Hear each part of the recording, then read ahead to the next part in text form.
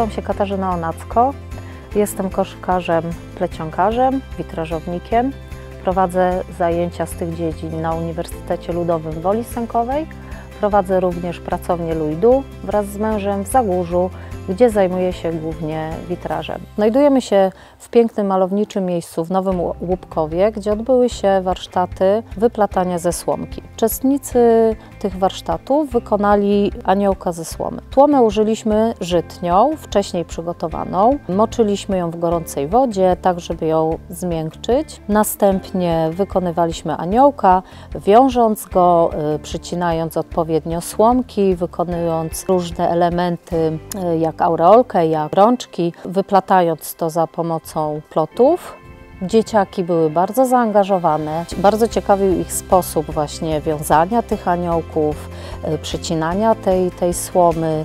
Za pomocą rozłupki rozwarstwialiśmy taką rurkę słomkową na cienkie paseczki. Warsztaty odbywały się 4 godziny.